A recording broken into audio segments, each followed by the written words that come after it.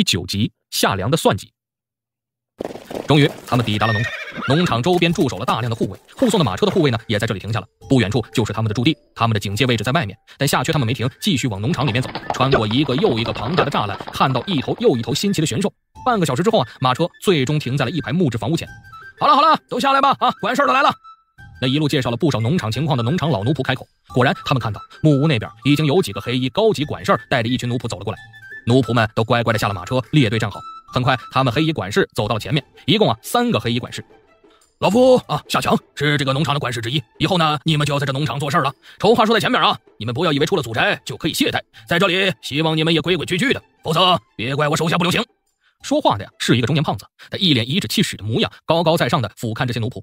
下面啊，我就跟你们说说农场的规矩啊，希望你们都给我记住，要不然到时候因为违反了规矩而坏了性命，可别怪我没说清楚。第一。安排下去的事情啊，都给我认认真真的完成。要是让我发现谁偷奸耍滑了、阳奉阴违了，绝不容情啊！第二，农场里的一些牲畜啊，都是主家的财产，绝不允许奴仆私自打杀，否则死路一条。第三，护卫和主家那边是你们的禁区，除非得到命令，否则不允许过去啊。第四，这一番讲话耗费了很多时间，这天色都暗了。夏强快要安排妥当的时候，忽而他身边的一个黑衣管事仿佛看到了什么人，赶忙低声对他说了一句。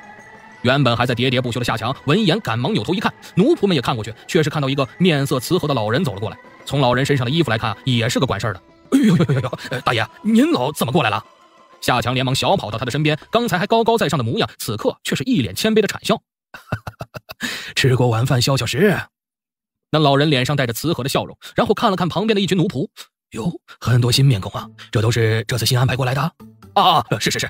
夏强连忙回答，然后扭头冲夏缺等人喝道：“这是我们农场的大管事，还不赶快见礼啊！”顿时，所有奴仆都吓了一跳，赶忙躬身行礼。行了，行了，行了啊，好好干，农场啊可比家里舒服多了。大管事乐呵呵的随意摆了摆手。大管事儿，夏缺也看着他。要知道，农场的大管事其实和夏翔的身份也是不相上下的，就是主家的人看到也都客客气气的。而这个大管事身份和夏翔差不多，但是这气度却是比夏翔强了不知道多少了。夏翔看起来怎么看都有几分小人得志的样子，面对些低级奴仆，一般都是不假以颜色的。而这夏森居然还和他们开玩笑。很快，大管事背着手缓缓走了，夏强也给他们安排好了工作、房间等等。夏缺和四个奴仆被安排在了同一个房间，不过并不和夏良在一起。夏缺有些意外啊，扭头寻找，很快在人群中找到了夏良，却见夏良也在看着他。当看到夏缺看向自己，夏良的脸上露出了一个森然的笑容，然后冲他做了一个割喉的动作，这让夏缺呆了一下，然后又流口水了。你，夏良一僵啊，夏缺赶忙擦了一下口水，转了身去。夏良微微皱眉，然后朝着一个方向走去。一夜无话。第二天天蒙蒙亮，梆梆梆梆梆，时间到了，都起来干活。太阳还没出来呢，外面还一片朦胧，传来了一阵梆子的敲击声和呼喝声。夏缺睁开了眼睛，其实昨天晚上他根本没睡着，此刻一听到外面的动静，他就醒了，然后他露出了一个笑容，没来嘛。他等了一个晚上，夏良没来。然而呢，这已经足以说明很多东西了。要不然就是还有顾虑，不敢太过光明正大的对付他；要不然就是夏祥的手还伸不到这么长。否则，昨天晚上夏良应该就要动手了。这对夏缺来说是个好消息。他直接起了身，昨天就没换衣服。就在此时，大门被推开，却是夏强走了进来。啊，见过管事，见过管事。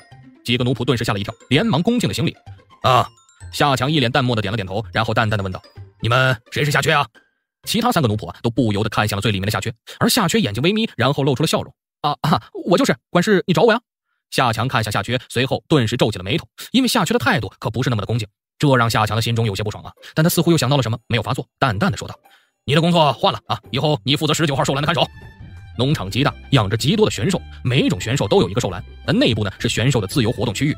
昨天给夏缺分配的工作本来是磨豆的，这些玄兽啊多是草食性的动物，所以啊跟喂马一样，除了草，还会喂一些其他营养更好的食物掺和到一起，豆子就是其中一种。”将这些营养物磨细之后，然后才掺和到草料里一起喂给玄兽，能够让玄兽更为健壮。磨豆的工作地点就在这木屋的附近，可如今他却被指派到十九号兽栏。而昨天呢，通过那位奴仆和夏强的大致介绍，这夏缺是知道十九号兽栏的位置，那可是相当偏远的。一瞬间，夏缺想到了很多，这是要把我支远点啊！然后他眼睛却是亮了，好人呐，绝对的好人呐！夏祥和夏良都是好人呐，嘿嘿，呃，是，保证完成任务。他顿时端正态度，大声回道：“这却是让夏强呆了一下，但他没多说什么，而是点了点头。啊，不要耽搁，现在去吧。”夏强淡淡交代完，转身离开了。而夏缺呢，也是迫不及待，带着灿烂的笑容，也赶紧出门。天色还很暗，不过昨天夏森已经大致给他们说过这里各个兽栏的位置，所以夏缺啊是知道十九号兽栏的位置的。他扭头看了看，并没有看到夏良的身影，但他知道啊，他肯定是要来找自己的，当下就往十九号兽栏的方向款步而走。感谢您的收听，本集播讲完毕。